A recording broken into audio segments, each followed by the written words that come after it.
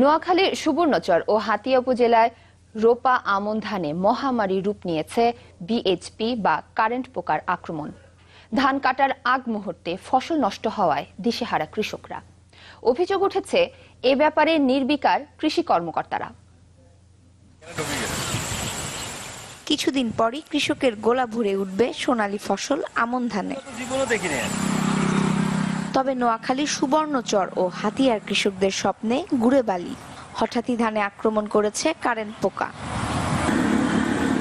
এরই মধ্যে মহামারী রূপ নিয়েছে পোকার আক্রমণ। এই অবস্থায় আতঙ্কিত হয়ে পড়েছেন কৃষকরা। বলছেন ঔষধ কিংবা কীটনাশক ব্যবহারেও মিলছে না প্রতিকার।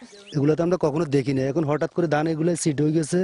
এখন ওষুধ কোম্পানি আসি বলে যে এরকমের ওষুধ। আমরা ওষুধ স্প্রে করে কোনো কাজ হচ্ছে না। হেরা যাই বলছিল যাই দিছি খেতে দিতে দিতে অস্থির অবস্থায় আছি এখন। কিন্তু কোনো কাজ হচ্ছে না। চোদ্দ দিন পরে ধানটা কাটা পড়তো এখন এই অবস্থায় পোকায় দড়ি সব ধান নষ্ট করে ফেলাইছে। এমনকি এই খ্যারগুলা গরুও খাবে না। আমরা লক্ষ লক্ষ টাকা খরচ করে এই শ্বাসগুলো আমরা শ্বাসবাস করছি। এখন আমাদের কিছুই নাই। কৃষিবিদরা বলছেন, একাধিকবার ইউরিয়া সার ও বৃষ্টির পানি জমে স্যাঁতসেতে পরিবেশ তৈরি হলে জমিতে এ ধরনের পোকা দ্রুত বংশ বাড়ায়। এজন্য কৃষকদের সচেতন হওয়ার পরামর্শ তাদের।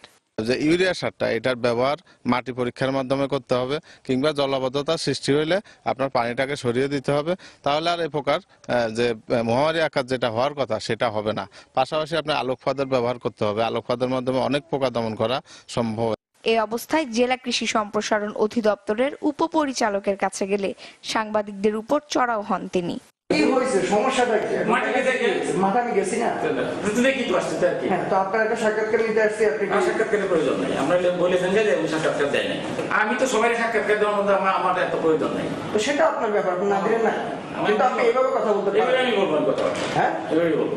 এবছর নোয়াখালীতে এক লাখ ছাপ্পান্ন হাজার সাতশো নিরানব্বই হেক্টর জমিতে আমন ধানের আবাদ হয়েছে।